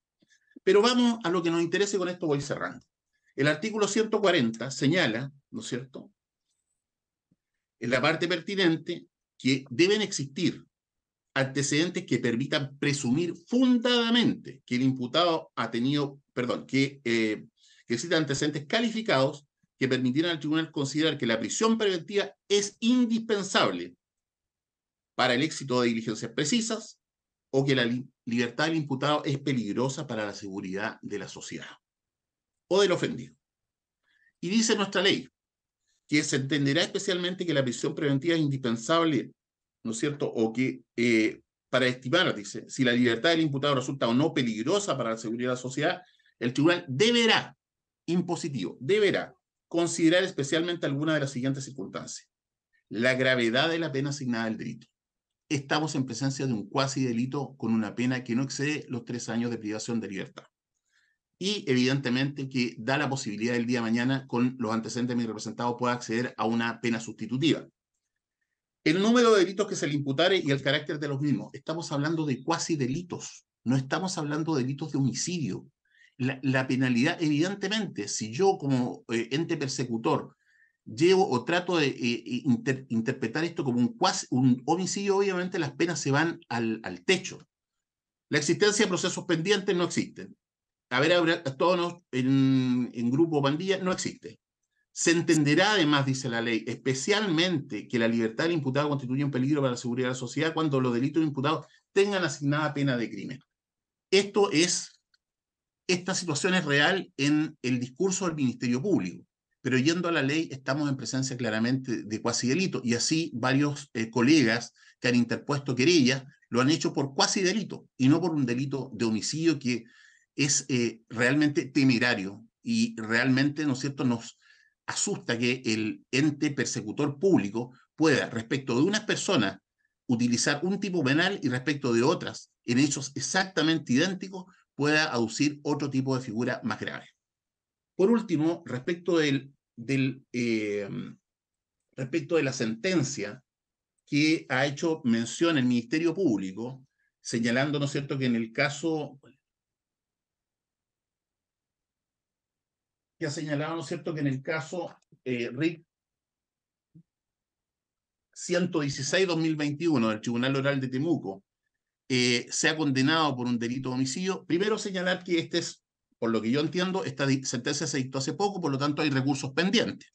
Segundo, si uno va al, al auto de apertura que motivó este juicio que hace mención el Ministerio Público, se señala que el día 4 de octubre del 2019, aproximadamente a las 10.40, el acusado, desatendiendo, desatendiendo las solicitudes formuladas por sus pasajeros en orden a disminuir la velocidad, condujo un bus marca Mercedes-Benz. Es decir, si hay, es totalmente distinto. Aquí los pasajeros le piden al eh, chofer del bus que baje la velocidad y él, en ese contexto, ¿no es cierto?, no accede y se produce el accidente con consecuencias, ¿no es cierto?, bastante eh, eh, similares a lo ocurrido en este, en este caso que no, no, nos convoca.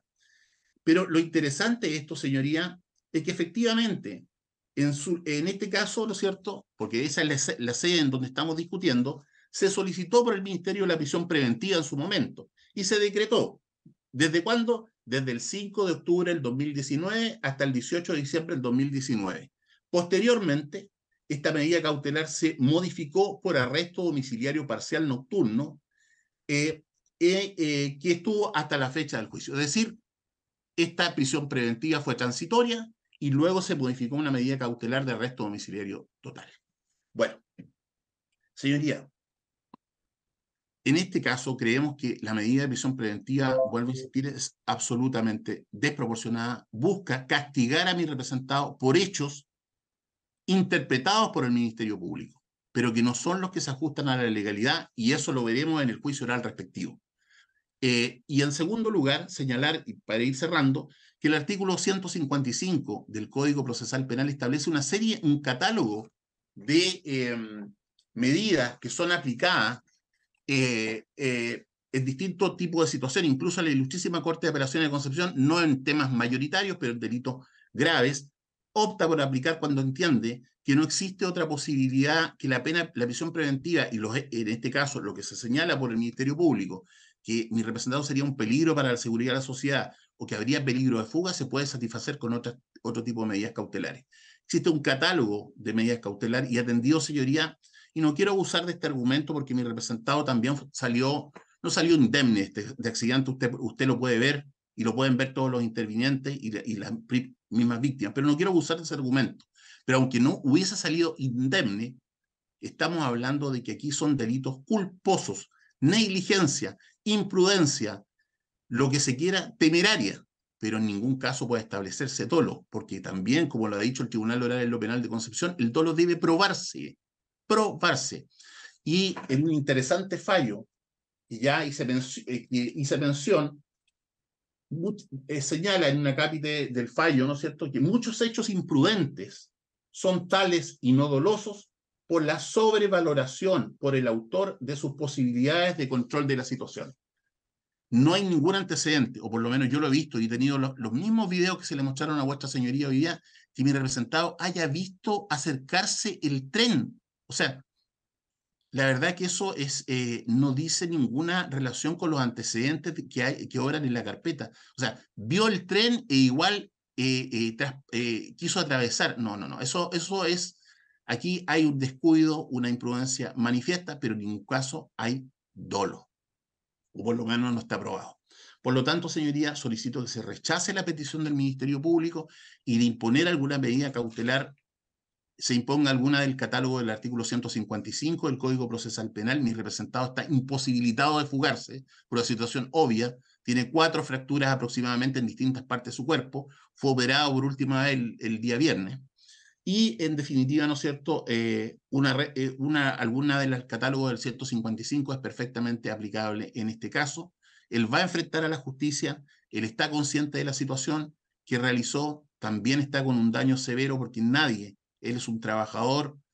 eh, miles de nosotros nos hemos trasladado en locomoción pública durante muchos años. Los accidentes ocurren a diario y él, eh, evidentemente, en su mentalidad, lo último que quiso es provocar el resultado fatal que se, se eh, señaló.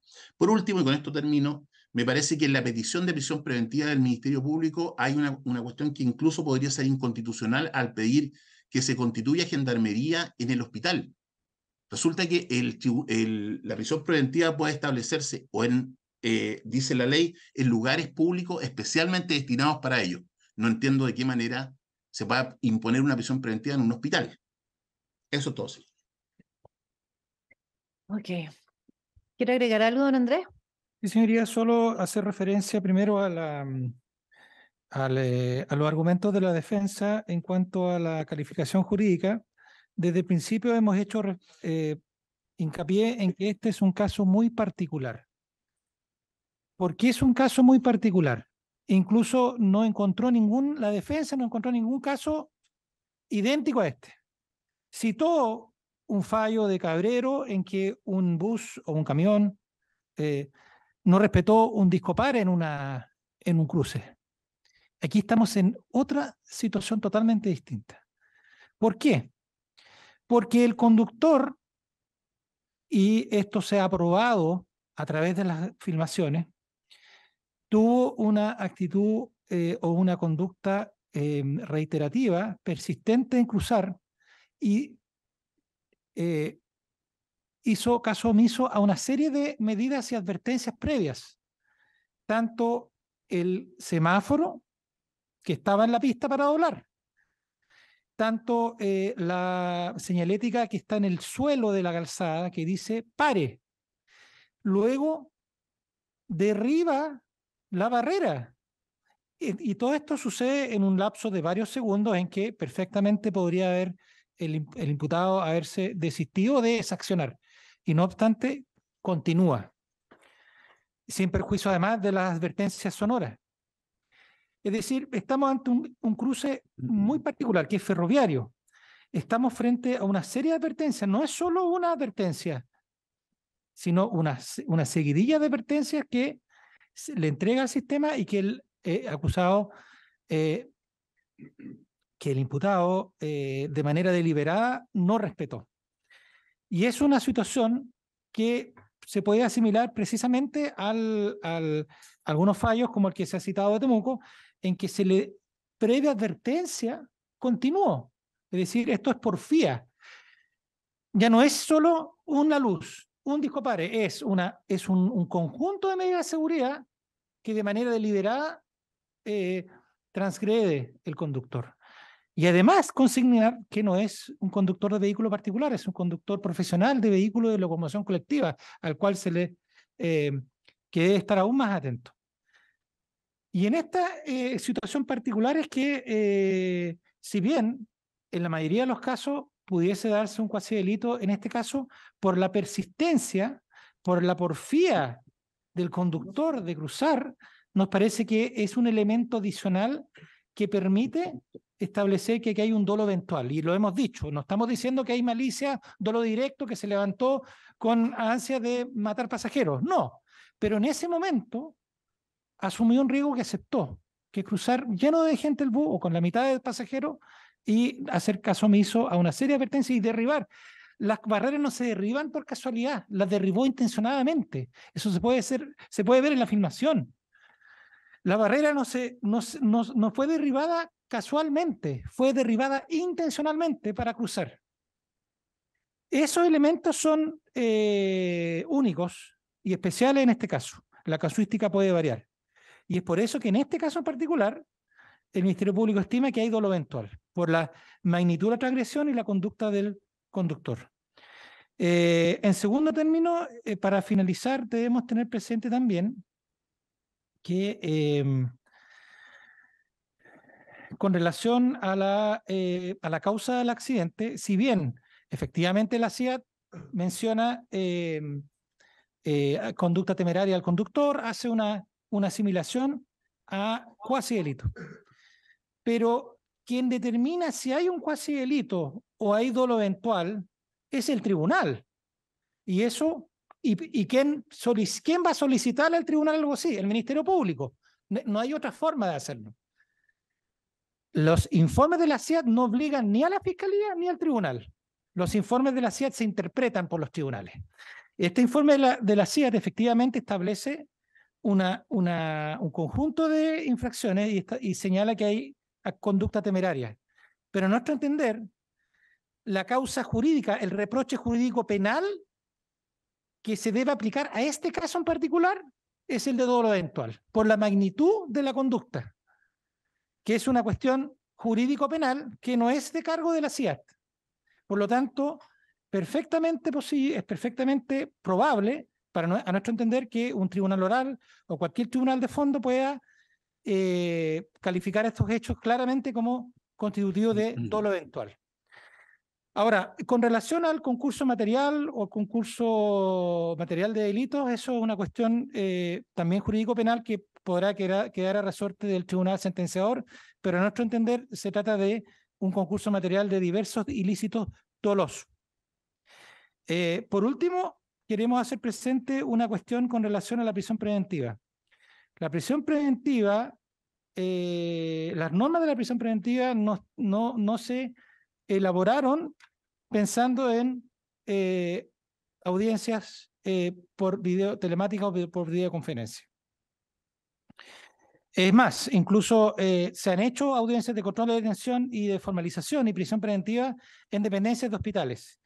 Y en ese caso, eh, no nos parece que sea inconstitucional ni procesalmente eh, improcedente la, que se decrete la prisión preventiva el lugar en que esté bajo custodia de gendarmería. De hecho, el artículo 150 permite las salidas custodiados por gendarmería por parte de los imputados que estén presos o cumpliendo pena. Se hace diario, cuando gendarmería los traslada a sacar plata, a concurrir a un tribunal. Lo mismo se puede hacer con relación a eh, cualquier imputado que se encuentre hospitalizado. De tal manera que no, no vemos ninguna eh, infracción en la solicitud eh, conforme al artículo 150 y demás normativas pertinentes respecto a la peti- petición de prisión preventiva en contra del señor Santander en el lugar en que se encuentra eh, hospitalizado. Eso es todo, señoría.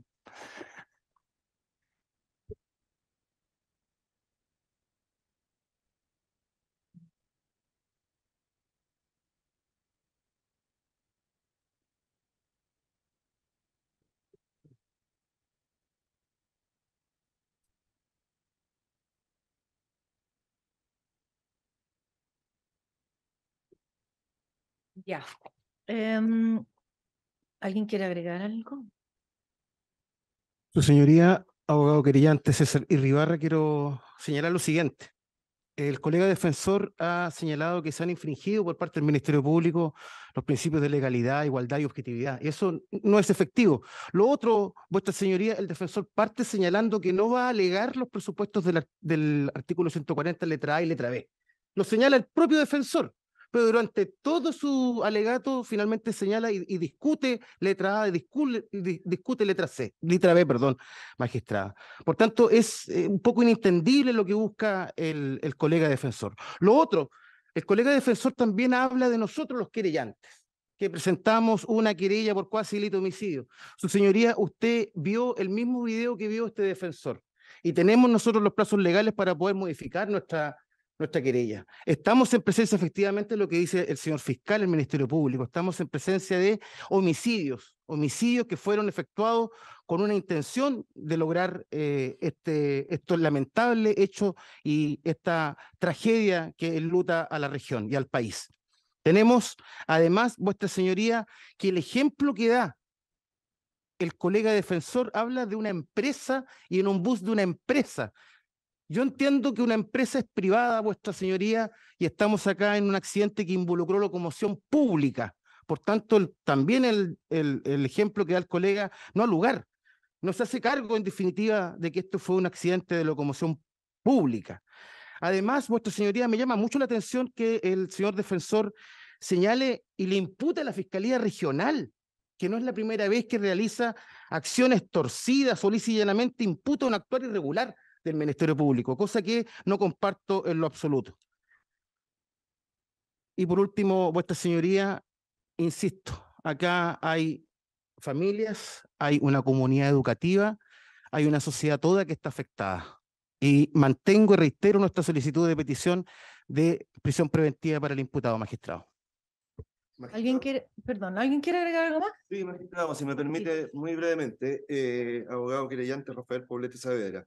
Eh, magistrado, nosotros, eh, debo reiterar, lo dije, nosotros nos querellamos por homicidio, eh, por el delito de homicidio, los demás querellantes, lo ha dicho el colega recién, pueden eh, ampliar su querella en cualquier momento, han sido convencidos por esas imágenes que nosotros no habíamos tenido por lo menos la posibilidad de ver, pero quiero hacerme cargo muy brevemente de una cosa que dijo el señor defensor, puesto que, como bien lo dijo el señor fiscal, el señor defensor buscó fallos, pero no encontró fallos iguales o similares. Y citó un- una causa, eh, eh, RIT 18 del 2023, del top de Los Ángeles, de un accidente en Cabrero, pero de lo mismo que él dice, de las mismas palabras que él emplea, que la anoté, dice que luego del Tribunal Oral en lo Penal de Los Ángeles desechó la falta de medidas de seguridad adicionales, en ese caso, lo cual demuestra que el ejemplo no es aplicable, el caso no es igual, porque ahí pudo haber habido que no respetó el disco pare, pero aquí, como bien lo dijo el señor fiscal,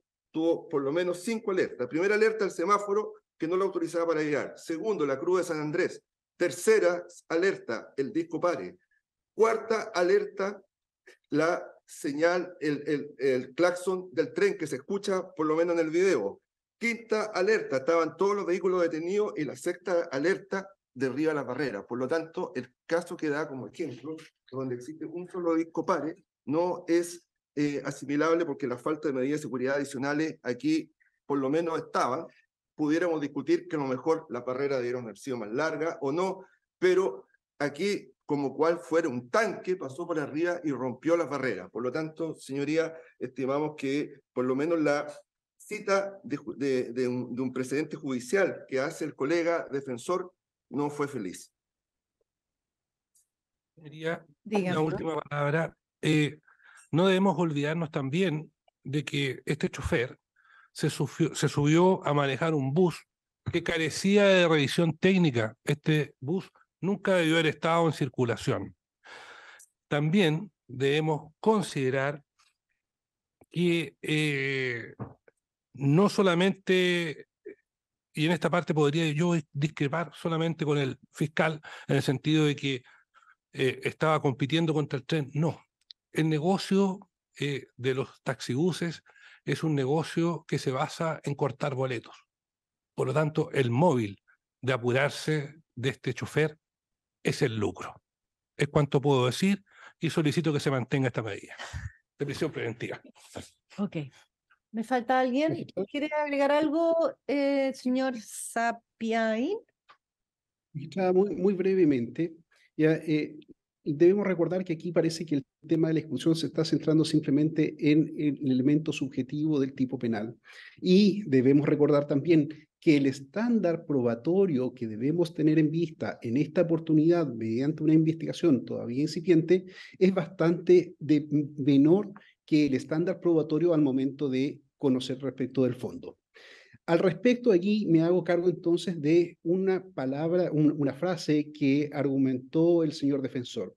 Y efectivamente debemos evaluar la conducta. Y lo que mejor permite al tribunal evaluar la conducta es el video del mismo microbús, donde se representa la, la circulación hasta que ocurre este hecho grave.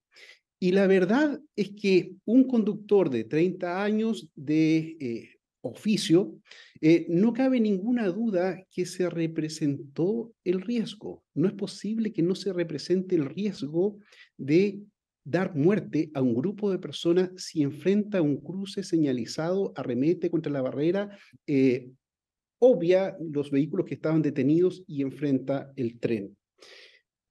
Actuó entonces con la más absoluta indiferencia, aceptando los resultados. Y esa es una acción totalmente criminal. Por consiguiente, pedimos efectivamente que eh, se acoja la solicitud de prisión preventiva. Eso es todo, magistrado. Ya, ok. Eh, es las dos de la tarde. Hemos estado, ¿cuánto? ¿Dos horas? Vamos a hacer una pequeña ¿me, permite, ¿Me va a permitir una breve réplica? Bueno, Breve. Muy breve, dos minutos, señoría. Eh, los acusadores, tanto fiscal como particular, olvidan de que estamos hablando de, de un ser humano. Y como todo ser humano, todavía no llegan las máquinas a controlar el transporte colectivo. Puede errar. Y ese error puede implicar una imprudencia. Esto, está mm, de alguna manera, acomodo que hace el Ministerio Público de tipificar estos hechos como homicidio, significa un precedente absolutamente eh, desastroso. Porque el día de mañana, eh, por lo menos, se va a exigir al Ministerio Público que cualquier accidente de tránsito eh, sea calificado de esta forma. Señoría, cuando la ley, que es lo importante, cuando la ley ha querido sancionar conductas que bordean lo doloso, ha implementado tipos penales de otra fórmula.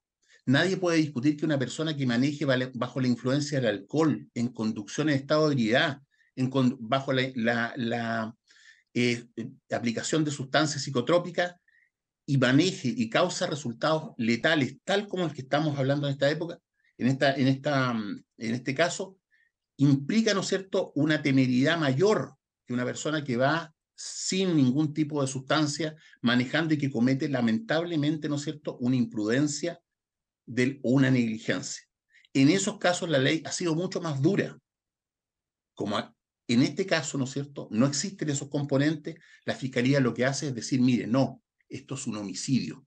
Y el caso que cité de Los Ángeles es exactamente igual, con, la, con una diferencia, que fue la cita que dejé a media, que la defensa en esa oportunidad solicitó la absolución del chofer. ¿Por qué? Porque las medidas de seguridad del cruce, a juicio de la defensa, no estaban acordes, ¿no es cierto?, a la reglamentación de ferrocarriles. Yo en este caso soy mucho más honesto. Digo, por el momento, porque llevamos un mes y medio desde el hecho, yo no voy a discutir los hechos a, la fecha de que están, pero sí puedo discutir, ¿no es cierto?, la necesidad de cautela. La investigación es larga y será eh, y evidentemente en los momentos procesales adecuados nosotros solicitaremos los peritajes. No está claro la velocidad a la que venía el tren y muchos otros aspectos que podría traer a colación, pero en este caso concreto, y en eso el abogado Irribarra yerra totalmente, evidentemente que la necesidad de cautela no, no eh, de alguna manera, ¿no es cierto?, no eh, cumple los estándares para una prisión preventiva respecto de mi representado. Aquí no estamos ante la discusión de fondo, no ha sido probado, no hay antecedentes contundentes de que haya una conducta dolosa más que la interpretación del fiscal. Y vuestra señoría, en esta etapa procesal debe estarse a los antecedentes que le proporciona la fiscalía y los acusadores particulares. El único antecedente, el único antecedente que se ha presentado ha sido el informe de la CIAT y la CIAT habla, ¿no es cierto?, de imprudencia de negligencia como ha sido reconocido por el propio fiscal. Entonces, señoría, ¿cómo un tribunal de la República va a darle connotación a estos hechos de homicidio? Si esto no hay una interpretación, si el hecho es más o menos grave. El tema es que se toma un tipo penal que no corresponde y se le achaca eh, en circunstancias que claramente aquí había que partir por lo que es común ocurrencia, como dice el mismo Ministerio Público. Este caso es específico. Quiere decir que de mil casos que ocurren en el año por accidentes de tránsito, este específicamente, ¿no es cierto?, es el caso, ¿no es cierto?, que salta la norma. Lo excepcional debe probarse y no ha sido probado por el Ministerio Público en esta instancia. Eso es todo, señor. Ya, gracias. Ya. em, si me permiten, voy a hacer una pausa de unos 15 minutos para que tomemos agua, ¿ok? Y de ahí les resuelvo.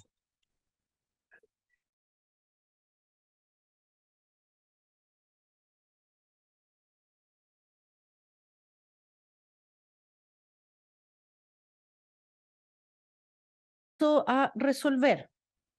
Entonces, visto, ¿cierto? Y oído a todos los intervinientes, tanto fiscal, defensor, querellantes presentes en la audiencia y atendido los antecedentes acompañados por la fiscalía en esta audiencia, cuáles son el parte policial 3488 de la sexta comisaría de San Pedro de la Paz, en que se relata la, la dinámica del accidente em, y quienes al presentarse al requerimiento por un accidente de bus, eh, se presentaron, ¿cierto?, Eh, a las 8.10 de la mañana y encontraron este bus eh, co- conducido por el imputado, ¿cierto?, Alejo Santander Faunde, que había colisionado con el tren. Agregando que el bus quedó a una distancia de 60, met- de 60 metros desde el cruce hacia el sur. Dos, declaración del conductor del tren, quien señala que iba eh, dirigiéndose desde Concepción a Coronel y observó eh, que el bus no respetó la línea de detención, traspasando el cruce y colisionándolo. Tres, el informe de la CIA, donde se acompañan las imágenes de la cabina del maquinista del tren, imágenes propias del cruce e imágenes del bus. Cuatro, informe 147-A-2023 de la CIA de fecha 7 de septiembre del 2023.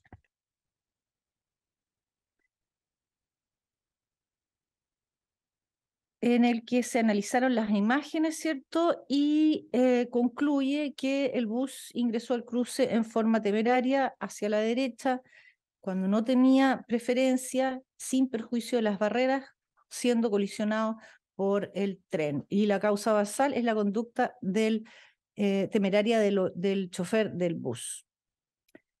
Em, además, los eh, informes de autopsia de cada una de las víctimas, las que nos fueron relatados en esta audiencia, lo que no habrá hecho el fiscal por razones obvias, ¿cierto? Eh, imágenes, seis imágenes del bus en que se observa que este, al llegar al cruce, ¿cierto?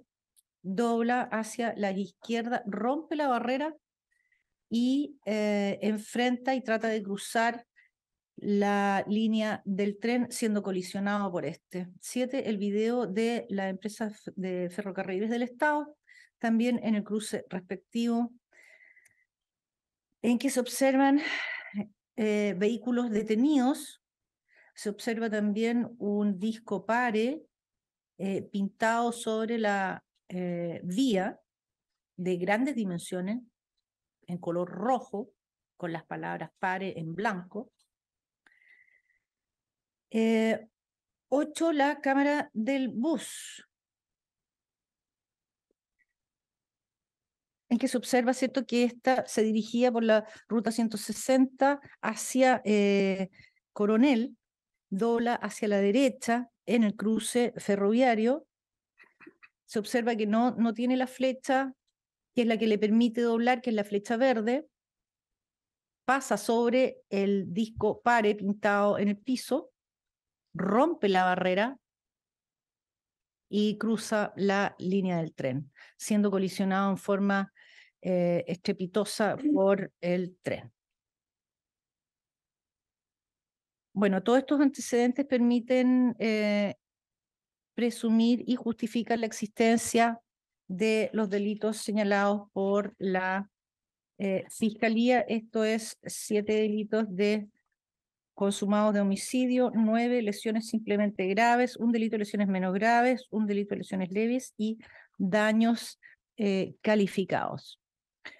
En este punto, sobre, sin perjuicio de que la defensa no alegó sobre las letras A y B de la, eh, del artículo 140 del Código Procesal Penal, em, de acuerdo a todos estos antecedentes, se estima por esta magistratura por el momento que existió un dolo eventual, puesto que en el momento en que el, em, chofer, el imputado, perdón,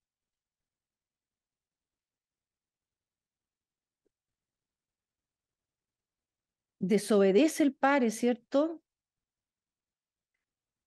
Se presenta ingresa al cruce con una ausencia de la, de la flecha verde que le permite el traspaso, traspasando todas las barreras, que, eh, o sea, traspasa la barrera, la destruye para eh, ingresar al cruce y lograr traspasarlo, avanzó con el móvil, provocando el accidente, eh, el accidente teniendo presente de que, como señalan, es una persona, ¿cierto? Que ya, como dijo don Raúl Bustos, una persona que lleva 30 años eh, conduciendo buses, tiene la experiencia, posee licencia especial para em, eh, conducir este tipo de vehículo, debió haberse, y además que debe haber pasado varias veces por el mismo cruce, debió haber previsto y darse cuenta que podía producir este grave accidente. Eh, por lo tanto, eh, y teniendo presente que em, todos estos antecedentes se va a dar lugar a la prisión preventiva solicitada por la Fiscalía y los querellantes. Por cuanto se estima que su libertad es peligrosa para la seguridad de la sociedad y para, eh, por el peligro de fuga. Eh, primero, por eh, la gravedad de la, de la pena asignada al delito, ¿cierto? Son siete homicidios. Eh, la pena que arriesga es muy alta, no va a tener, segundo, no va a tener en ese, en ese evento la posibilidad de una pena sustitutiva. Ser un, em, un, delito pluriofensivo, hubo lesiones, muerte, eh, incluso daños. Por ello, eh, se decreta la prisión preventiva del imputado. En cuanto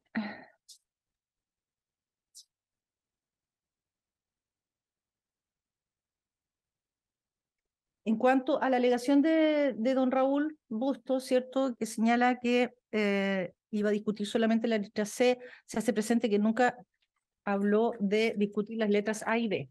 A lo mejor fue una cosa de, mm, mm, de falta de precisión, porque eh, finalmente igual alegó sobre la existencia de un delito o de un cuasi delito.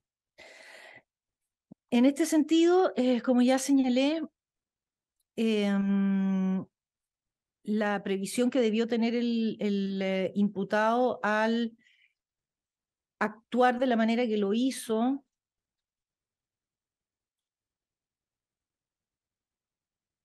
Eh, puede ser eh, calificado ¿cierto? como un delito de eh, homicidio. Por ahora, esta magistratura estima ello sin perjuicio de, por supuesto, de las calificaciones, recalificaciones que se podrían hacer en un juicio oral público, pero eso está todo por, por verse. Eso. ¿Algo más? ¿Plazo de investigación?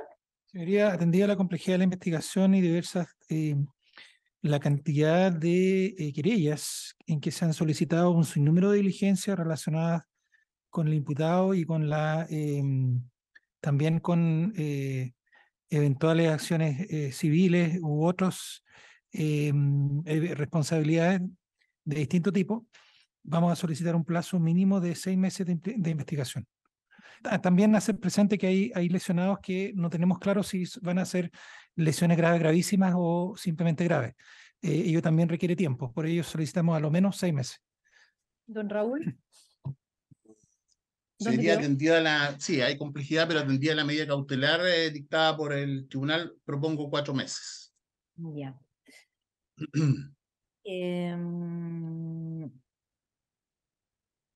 Bueno, siendo tanto los, las víctimas, ¿cierto? Es una, se trata de una eh, compleja investigación. Por lo tanto, se van a decretar los seis meses de investigación. De ese orden de ingreso, ¿cierto? Se pone a disposición de la de Gendarmería al imputado en el, eh, en el hospital. ¿Está en el traumatológico? ¿En qué hospital está, don Raúl? Está en el hospital traumatológico, señoría. Eh, hospital traumatológico, ya. Eh, bueno, hasta que se dé de alta, por supuesto, y de ahí ingresará al, al, al CPP Concepción en el que se estime de acuerdo a Gendarmería. Para lo cual, oficíese al hospital traumatológico a fin de que informen a este tribunal em, en el momento que se le dé de alta y pueda ser trasladado a eh, Gendarmería. ¿Algo más? Señoría, eh, la defensa pide copia del audio de la audiencia. Ya. ¿Cómo se pide? Dígame. Vuestra señoría, en los mismos términos, está abogado querellante César Ibarra. Necesito copia de la presente audiencia al correo abogado César gmail.com y abogado Marcelo Ávila arroba gmail.com, su señoría. ¿Más que nota, Marlene? ¿Cómo se pide? ¿El resto también quiere? Ferrocarriles también me dieron ¿Sí? los colegas. ¿Dieron todos los A todos, sí. Ya, entonces remítase copia del audio a todos los querellantes, a los correos registrados en el sistema. ¿Algo más? El Ministerio Público también, copia. Ministerio Público también. Gracias. Ok. Damos por terminada la audiencia. Hasta luego. Hasta luego. Hasta luego.